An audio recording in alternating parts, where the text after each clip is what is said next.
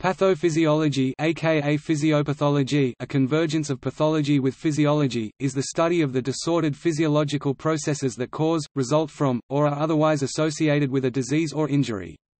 Pathology is the medical discipline that describes conditions typically observed during a disease state, whereas physiology is the biological discipline that describes processes or mechanisms operating within an organism. Pathology describes the abnormal or undesired condition, whereas pathophysiology seeks to explain the functional changes that are occurring within an individual due to a disease or pathologic state.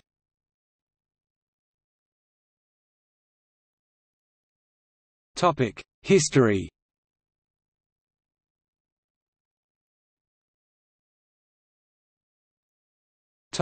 Etymology The term pathophysiology comes from the ancient Greek pathos, pathos and physiologia, physiologia.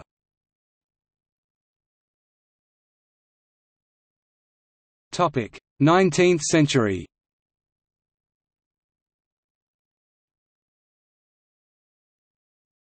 Topic: Reductionism. In Germany in the 1830s, Johannes Müller led the establishment of physiology research autonomous from medical research. In 1843, the Berlin Physical Society was founded in part to purge biology and medicine of vitalism, and in 1847 Hermann von Helmholtz, who joined the society in 1845, published the paper, On the Conservation of Energy, highly influential to reduce physiology's research foundation to physical sciences.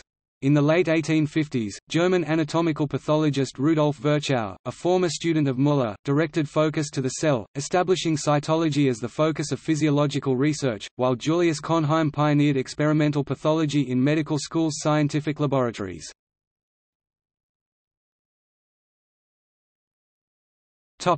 Germ theory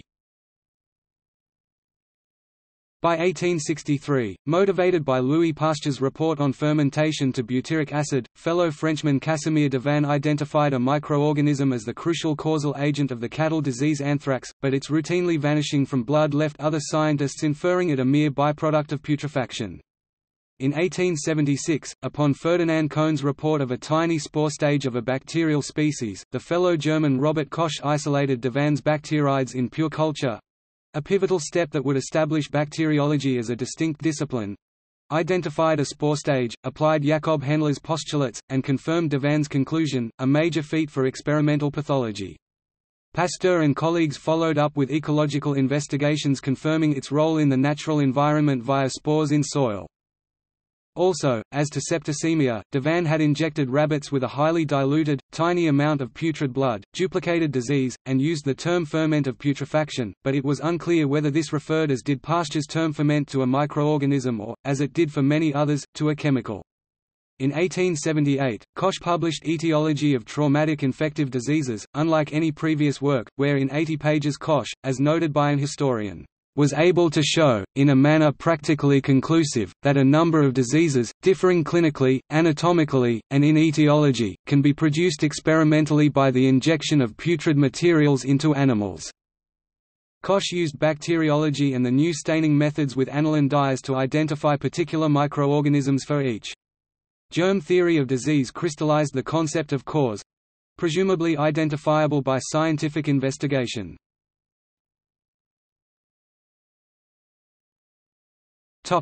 Scientific medicine.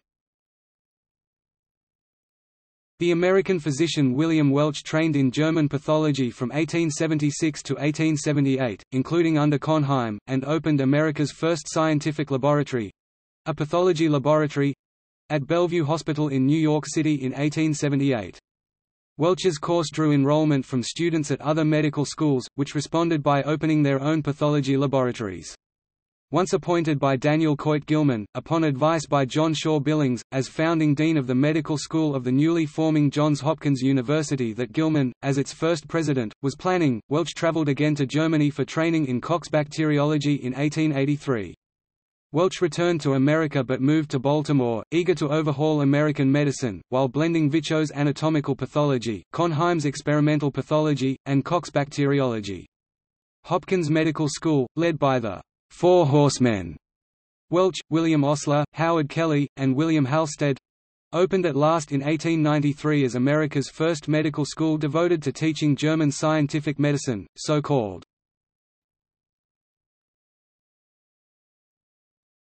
Topic: 20th century.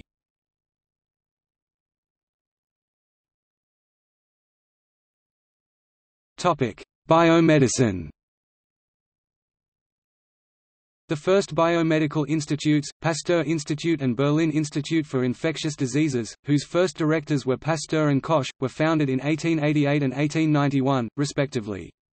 America's first biomedical institute, the Rockefeller Institute for Medical Research, was founded in 1901 with Welch, nicknamed, "'Dean of American Medicine' as its scientific director, who appointed his former Hopkins student Simon Flexner as Director of Pathology and Bacteriology Laboratories. By way of World War I and World War II, Rockefeller Institute became the globe's leader in biomedical research.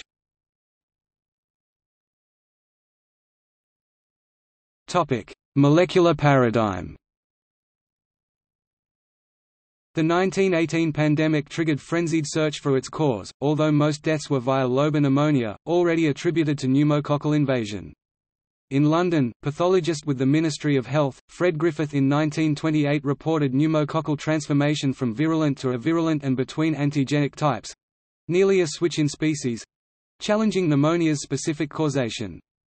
The laboratory of Rockefeller Institute's Oswald Avery, America's leading pneumococcal expert, was so troubled by the report that they refused to attempt repetition. When Avery was away on summer vacation, Martin Dawson, British Canadian, convinced that anything from England must be correct, repeated Griffith's results, then achieved transformation in vitro, too, opening it to precise investigation.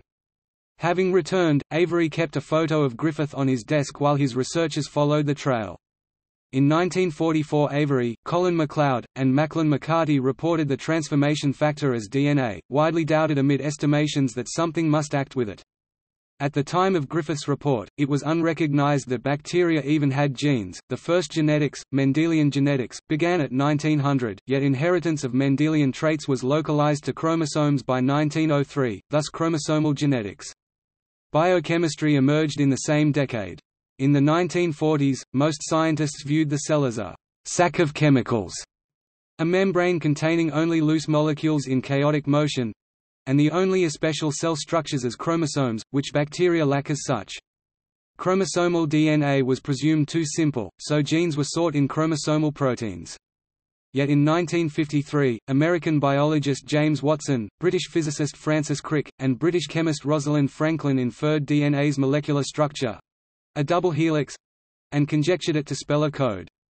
In the early 1960s, Crick helped crack a genetic code in DNA, thus establishing molecular genetics. In the late 1930s, Rockefeller Foundation had spearheaded and funded the Molecular Biology Research Program, seeking fundamental explanation of organisms and life, Led largely by physicist Max Delbruck at Caltech and Vanderbilt University, yet the reality of organelles in cells was controversial amid unclear visualization with conventional light microscopy. Around 1940, largely via cancer research at Rockefeller Institute, cell biology emerged as a new discipline filling the vast gap between cytology and biochemistry by applying new technology—ultracentrifuge and electron microscope—to identify and deconstruct cell structures, functions, and mechanisms. The two new sciences interlaced, cell and molecular biology, mindful of Griffith and Avery, Joshua Lederberg confirmed bacterial conjugation—reported decades earlier but controversial—and was awarded the 1958 Nobel Prize in Physiology or Medicine. At Cold Spring Harbor Laboratory in Long Island, New York, Delbruck and Salvador Luria led the phage group, hosting Watson, Discovering details of cell physiology by tracking changes to bacteria upon infection with their viruses, the process transduction. Lederberg led the opening of a genetics department at Stanford University's medical school, and facilitated greater communication between biologists and medical departments.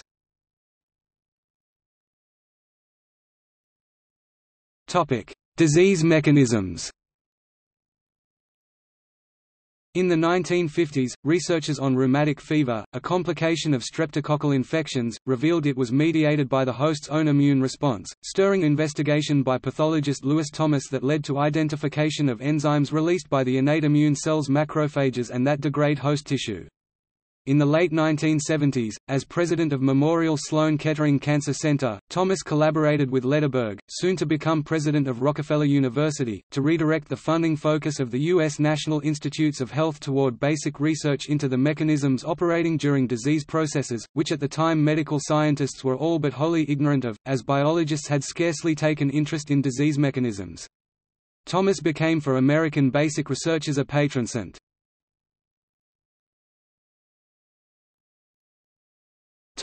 Uses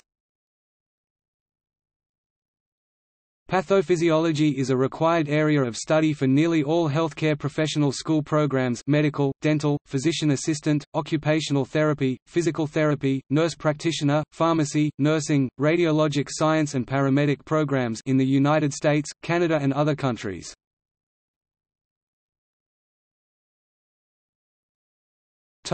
Examples The pathophysiology of Parkinson's disease is death of dopaminergic neurons as a result of changes in biological activity in the brain with respect to Parkinson's disease (PD). There are several proposed mechanisms for neuronal death in PD, however, not all of them are well understood. Five proposed major mechanisms for neuronal death in Parkinson's disease include protein aggregation in Lewy bodies, disruption of autophagy, changes in cell metabolism or mitochondrial function, neuroinflammation, and blood-brain barrier (BBB) breakdown resulting in vascular leakiness. The pathophysiology of heart failure is a reduction in the efficiency of the heart muscle, through damage or overloading. As such, it can be caused by a wide number of conditions, including myocardial infarction in which the heart muscle is starved of oxygen and dies, hypertension which increases the force of contraction needed to pump blood and amyloidosis in which misfolded proteins are deposited in the heart muscle, causing it to stiffen. Over time these increases in workload will produce changes to the heart itself. The pathophysiology of multiple sclerosis is that of an inflammatory demyelinating disease of the CNS in which activated immune cells invade the central nervous system and cause inflammation, neurodegeneration and tissue damage. The underlying condition that produces this behavior is currently unknown.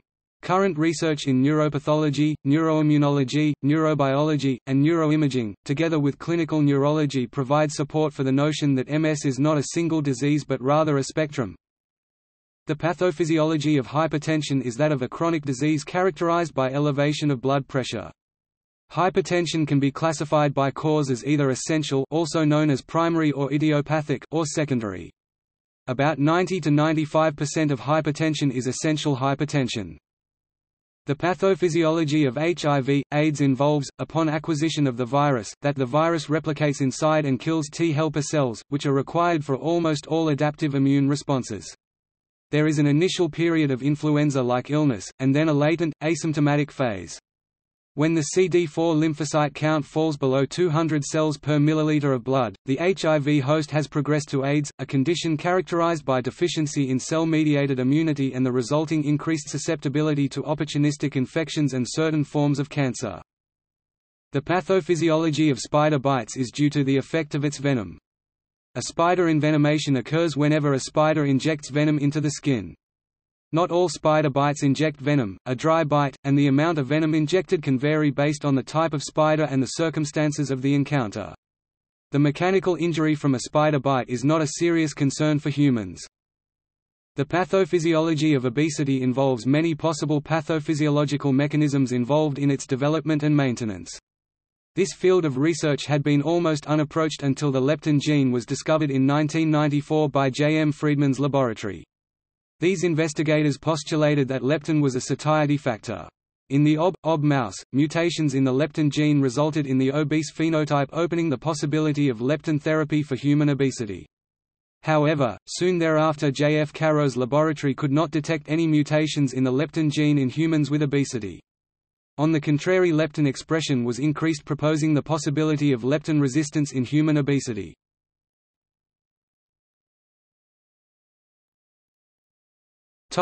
See also. Pathogenesis. Pathology. Physiology